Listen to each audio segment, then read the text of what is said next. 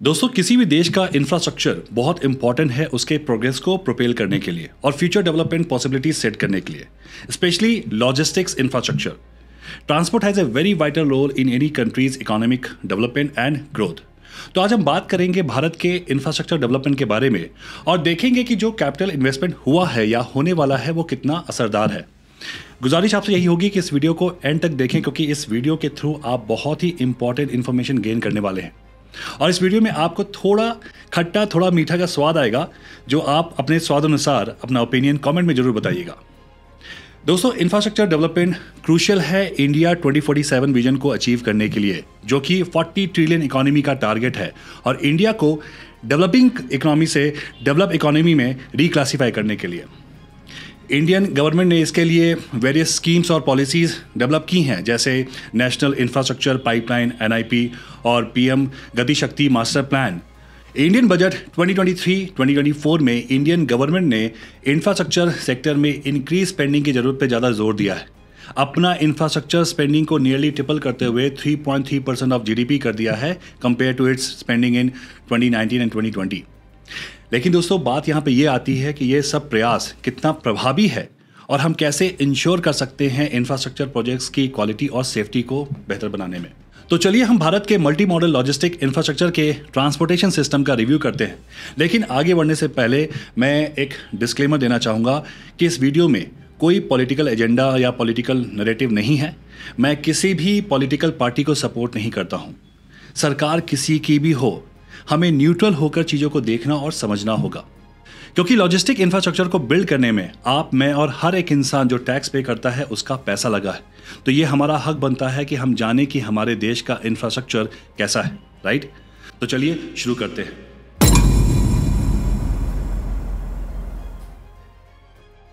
अट्ठाईस जून 2024 एक cab driver Ramesh Kumar Delhi terminal one पर यात्रियों का इंतज़ार कर रहे थे। तभी भारी बारिश के बीच डिपाचा एरिया का छत का एक हिस्सा उन पर गिर जाता है और रमेश कुमार की जान चली जाती है। 27 जून 2024 ठीक एक दिन पहले मध्य प्रदेश के जबलपुर में डमुना एयरपोर्ट पर टर्मिनल की छत गिरकर एक सरकारी अधिकारी की कार पर गिरी और गाड़ी चकनाचूर हो जाती है। और इसी टर्मिनल का उद्घाटन 10 मार्च 2024 को पीएम मोदी ने किया था। मथुरा में तीन साल पहले ही बनी पानी की टंकी गिरने से दो महिलाओं की अपनी गंवानी पड़ी थी। और जिस अयोध्या को हम स्मार्ट नगरी बनाने की बात कर रहे हैं, उसने पहली ही बारिश में अयोध्या के विकास की सारी पोल खोल दी है और वाटर लॉगिंग का बहुत बड़ा कंसर्न बन गया है। और 1800 करोड़ में बना राम मंदिर, जिसके उद्घाटन को अभी छः महीने भी नहीं बीते हैं, पहली ही बारिश में राम मंदिर की छत टपकने लगती है। गुड़गांव, जिसे हम दुबई और सिंगापुर से कंपेयर करते हैं बट यहाँ के नाले दुबई या सिंगापुर वाली फीलिंग तो बिल्कुल भी नहीं दे रहे हैं। और वहीं बिहार में पिछले पंद्रह दिनों में सात ब्रिजेस गिरने से यह स्टेट टॉप लिस्ट में आ गया। सत्रह दस करोड़ में बना सुल्तानगंज अफगानी ब्रिज कुछ सेकंड में गिर जाता है, वो भी सिर्फ़ पंद्रह महीने के अंदर। 500 करोड़ में बना Bengaluru T two terminal leak हो जाता है। दिल्ली से वाराणसी जारी वंदे भारत एक्सप्रेस ट्रेन में यात्रा कर रहे यात्री उस समय हैरान रह गए जब ट्रेन की छत से पानी टपकने लगा। दोस्तों कैपिटल एक्सपेंडिचर में इंफ्रास्ट्रक्चर की सेफ्टी का बहुत ध्यान रखा जाता है। तो आप बताइए ह्यूमन लाइफ की क्या कीमत है? शायद कुछ भी नहीं। आप घर से निकलते हैं, लेकिन ये आप नहीं कह सकते कि आप सुरक्षित वापस घर आ पाएँगे। क्योंकि हो सकता है कि कोई होर्डिंग आपके ऊपर गिर जाए एयरपोर्ट की छत आपके ऊपर गिर जाए, या ब्रिज आपके पैरों तले से खिसक जाए। आप ये वीडियो देखिए और आप बताइए कि आपको क्या लगता है हमारे इंफ्रास्ट्रक्चर के बारे में। प्लीज़ कमेंट में बताइएगा।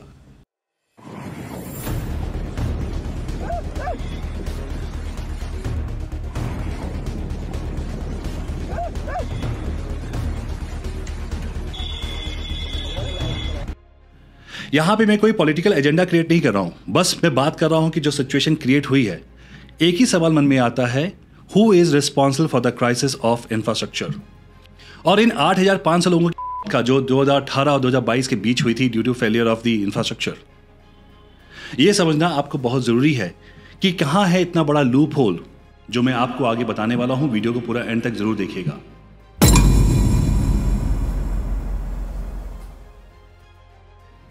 आम श्योर आप सभी को पता होगा कि गवर्नमेंट प्रोजेक्ट्स की बिडिंग के थ्रू टेंडर रिलीज़ किया जाता है, जिसमें बहुत सारे कॉन्ट्रैक्टर्स अपना प्रपोजल सबमिट करते हैं एलवन कॉन्ट्रैक्ट टेक्निक के फॉर्म में। एलवन टेक्निक का मतलब होता है कि जो contractor lowest tender proposal submit करेगा, उसको कॉन्ट्रैक्ट मिल जाएगा। गवर्निंग बॉडी उस कॉन्ट्रैक्टर को सेलेक्ट करती है जिसने लोएस्ट कमर्शियल यानी कि लो प्राइस पे टेंडर सबमिट किया था। और सबसे बड़ा प्रॉब्लम एलवन कॉन्ट्रैक्ट टेक्निक से ही स्टार्ट होता है, क्योंकि इन कॉन्ट्रैक्टर्स लिस्ट में ऐसे भी कॉन्ट्रैक्टर्स होते हैं जिनका उस पर्टिकुलर इंडस्ट्री में कोई एक्सपीरियंस नहीं होता। फिर भी प्रपोजल बिड करते हैं और समटाइम्स वो बिडिंग जीत भी जाते हैं, जिसका अंजाम क्या होता है, वो आपको कोलकाता का विवेकानंद फ्लाईओवर बताएगा। एक करोड़ के बजट के साथ विवेकानंद फ्लाईओवर का एक अंडर कंस्ट्रक्शन पार्ट लोगों के ऊपर गिर जाता है और 28 लोग जाते हैं, और ना जाने कितने लोग घायल हुए थे। लेकिन जो कंपनी इसे कंस्ट्रक्ट कर रही थी आईवीआरसीएल उसके ऑपरेशन डायरेक्टर एजी की मूर्ति से पूछा गया कि यह क्यों हुआ? तो उनका आंसर था it was an act of God लेकिन जब प्रॉपर इन्वेस्टिगेशन के बाद पता चला कि आईवीआरसीएल की ही गलती थी, क्योंकि सात साल पहले उन्होंने कॉन्ट्रैक्ट जीतने के लिए सबसे कम बिड सबमिट करा था। कंपनी ने हर लेवल पर कॉस्ट बचाने की कोशिश करी थी, जिसकी वजह से यह फ्लाईओवर गिर गया था। वहीं गुजरात का मौरवी का शान कहलाए जाने वाला केबल ब्रिज 30 अक्टूबर 2022 को कोलैप्स हो गया था। जिसकी वजह से 141 लोगों की थी। मेंटेनेंस एंड रिपेयर का कॉन्ट्रैक्ट किसके पास गया था? ओरेबा ग्रुप के पास, जो अजंता मैन्युफैक्चरिंग प्राइवेट लिमिटेड का हिस्सा है और बजट फिक्स हुआ था दो करोड़। आपने अजंता वॉचेस का नाम सुना ही होगा। जी हाँ ये वही हैं। एलईडी बल्ब्स लाइट्स कैलकुलेटर के साथ साथ घड़ियाँ एंड टूथपेस्ट का मैन्युफैक्चरिंग करते हैं। और सरप्राइजिंगली ओरेबा ग्रुप ये कॉन्ट्रैक्ट दे देती है थर्ड पार्टी यानी देव प्रकाश सोल्यूशन को, जो कि एक लोकल इंडिविजुअल कॉन्ट्रैक्टर था। So as a matter of fact Oreva group के पास कोई एक्सपीरियंस नहीं था ब्रिज को रिपेयर करने में। They were into different manufacturing of products कई कॉन्ट्रैक्ट्स ऐसी कंपनीज़ को दिए जाते हैं जिनके पास ना तो क्वालिफिकेशन होता है और ना ही कोई एक्सपीरियंस फिर भी कॉन्ट्रैक्ट उनको मिल जाता है। और यही सबसे बड़ा प्रॉब्लम है L one contract technique method में। कंपनीज़ कॉन्ट्रैक्ट को विन करने के लिए लोएस्ट कमर्शियल कोड करती है। और गवर्निंग बॉडी को यह मैटर नहीं करता कि कॉन्ट्रैक्टर का प्रीवियस एक्सपीरियंस या फिर सैंपल वर्क की क्वालिटी कैसी थी। In fact central vigilance commission जो एड्रेस करती है गवर्नमेंटल करप्शन को, उसने अपनी रिपोर्ट में खुद बताया कि एलवन कॉन्ट्रैक्ट टेक्निक मेथड की वजह से कई प्रोजेक्ट्स फेल हो जाते हैं। जून 2022 को प्रधानमंत्री मोदी जी ने प्रगति मैदान कॉरिडोर प्रोजेक्ट का इनोग्रेट किया था, जिसकी कॉस्ट थी 777 crore and work of the tunnel started on March 2018 and completed by September 2019 almost 19 months में कंप्लीट हो जाता है। प्रधानमंत्री ने कहा कि एक शानदार टनल इतने कम टाइम में बन गया था और बोला गया था कि हर साल 55 करोड़ रुपए ये बचाएगी। इतने कम समय में इस इंटीग्रेटेड ट्रांजिट कॉरिडोर को तैयार करना जरा भी आसान नहीं था। टनल के अंदर हवा बनाए रखने के लिए ऑटोमेटिक वेंटिलेशन सिस्टम पानी की निकासी के लिए automatic pump set power backup camera और पब्लिक अनाउंसमेंट सिस्टम जैसी सुविधाएँ दी गई थी।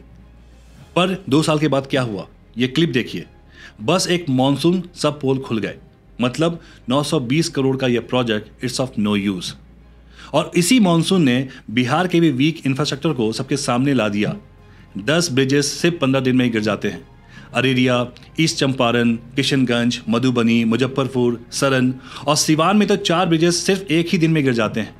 और वहीं भागलपुर में 1710 करोड़ का ब्रिज क्रैश हो जाता है, वो भी 14 महीने में।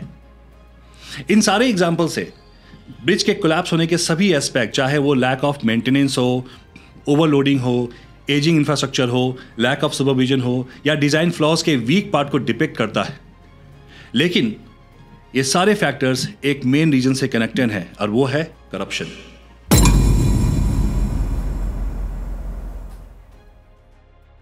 प्रोक्यूरमेंट प्रोसेस में करप्शन से इंफीरियर मटेरियल्स और अनक्वालिफाइड कॉन्ट्रैक्टर्स का यूज़ होता है, जो ब्रिज की इंटीग्रिटी को कॉम्प्रोमाइज करता है। जब एल्बन मेथड यूज़ होगा तो पुअर कंस्ट्रक्शन क्वालिटी होगा ही। वहाँ सारा गेम कम पैसे में ज़्यादा मुनाफा कमाने का है।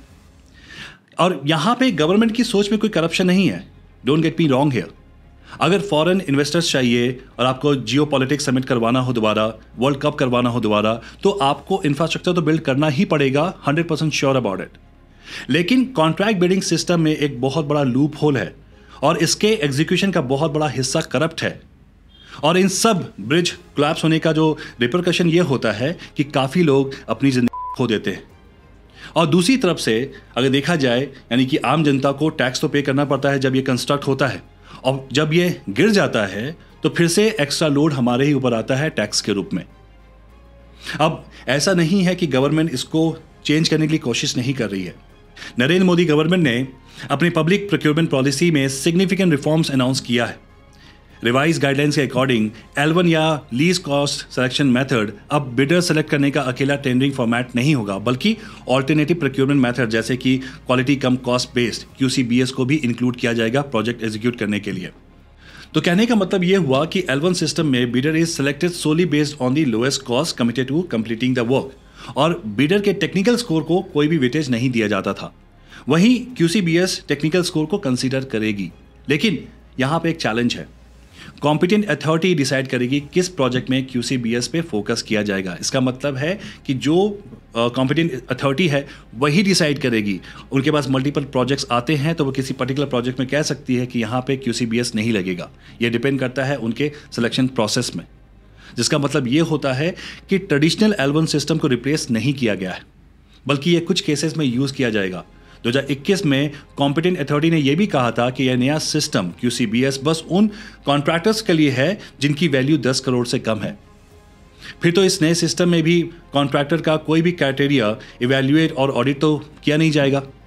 जो उनके मन में आएगा वही करेंगे।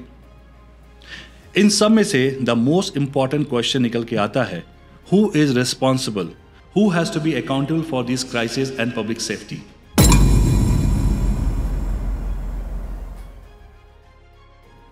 in my opinion इन सब क्राइसिस होने का एक बहुत बड़ा रीज़न ये है कि सेफ्टी ऑडिट्स का सही से नहीं होना, चाहे वो न्यू कंस्ट्रक्शन हो या फिर मेंटेनेंस का। हमारे देश में कोई भी एक गवर्निंग बॉडी नहीं है जो सेफ्टी ऑडिट्स के लिए जिम्मेदार हो। जब भी कोई छत फ्लाईओवर या अंडरपास गिर जाता है तो हमें पता ही नहीं होता है कि हम किसको रिस्पॉन्सिबिलिटी दें। The blame shift from one party to another Delhi के एयरपोर्ट रूफ के पिलर्स में कोरोजन था, जिसकी वजह से वो गिरा। लेकिन जब एविएशन मिनिस्टर के पास पूछा गया कि ये क्यों हुआ सेम स्टैंडर्ड आंसर इन्वेस्टिगेशन चल रही है।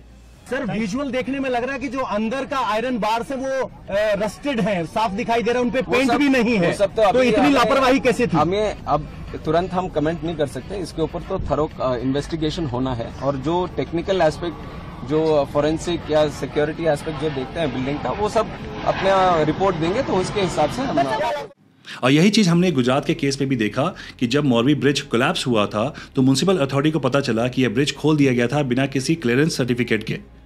अब लोगों के गुस्से को ठंडा करने के लिए नौ लोग को अरेस्ट कर लिया गया था इंक्लूडिंग टिकटिंग क्लर्क एंड तीन सिक्योरिटी गार्ड को, क्योंकि उन्होंने ढंग से भीड़ को रेगुलेट नहीं किया था।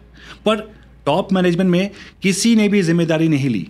इनफैक्ट कुछ हफ़्ते पहले गुजरात हाई कोर्ट ने गुजरात सरकार से सवाल पूछा था कि स्पेशल इन्वेस्टिगेशन टीम फॉर्म होने के बाद आपको एक एक्शन टेकन रिपोर्ट सबमिट करनी थी, पर ऐसा नहीं हुआ। स्टेट हाई कोर्ट ने गवर्नमेंट से यह भी पूछा रहे यही बता दो, इसके लिए जिम्मेदार कौन है? तो आप ये सोचो, जब हाई कोर्ट को नहीं पता स्टेट कोर्ट को नहीं पता तो आप और हमें क्या पता होगा? प्रगति मैदान टनल के फेल होने के बाद पब्लिक वर्कर्स डिपार्टमेंट पीडब्ल्यूडी ने यह कहा कि ये गलती एल कंपनी की है, क्योंकि प्रोजेक्ट में कई सीरियस टेक्निकल ग्लिचेस थे डिज़ाइन भी अप्रोप्रिएट नहीं था, और उन पर फाइन लगा दिया गया। तो सवाल यहाँ पे यह होता है कि टेक्निकल और डिज़ाइन का ऑडिट किसने किया था, और अप्रूवल किसने दिया था? उसके बाद एल ने काउंटर क्लेम डाल दिया सरकार पर 500 करोड़ का। तो ये अब दंगल पूरा चलेगा कोर्ट में कि गलती किसकी है। लेकिन दोस्तों, इन गलतियों से हर वो इंसान जाती रहेगी जो डेली हसलर्स हैं, जो सुबह नौ बजे निकलता है और शाम के आठ, दस बजे घर वापस आता है। कभी भी आपने सुना है कि कोई पॉलिटिशियन या कोई पूंजीपति अंडरपास में या फिर फ्लाईओवर से गिर के उस हो गई हो? कभी नहीं ऐसा होता है। एक दिन की बारिश में दिल्ली पूरी तरह से बंद हो जाती है, जबकि इंडिया मेट्रोलॉजिकल डिपार्टमेंट ने इन्फॉर्म किया था heavy to very heavy rainfall के बारे में, लेकिन सरकार ने ढंग से प्रिपरेशन भी नहीं किया था। दिल्ली हाईकोर्ट ने भी सिचुएशन को प्रिडिक्ट किया था और कहा था कि दिल्ली सरकार को कि जो भी 22 ओपन नाले हैं, उनमें से गंदगी निकाल देनी चाहिए ब्लॉकेज को क्लियर करने के लिए। पर दिल्ली सरकार ने अपने जवाब में कहा 22 में से हम बस तीन नालों को ही कंट्रोल करते हैं। उन्नीस सौ दूसरे डिपार्टमेंट्स के अंदर आते हैं, जो कि सच है। एक ब्लेम गेम शुरू हो गया रूलिंग पार्टी आप और बीजेपी के बीच, जिसमें दोनों ने फ्लड के लिए एक दूसरे को जिम्मेदार ठहराया। पचास मिलीलीटर बारिश को आप कहते हैं कि पहले कभी ऐसी नहीं हुई। ये सारा सर अपने दोस्त को दूसरों पे देने का एक कोशिश है। देखिए, अभी भी समय है, जागो।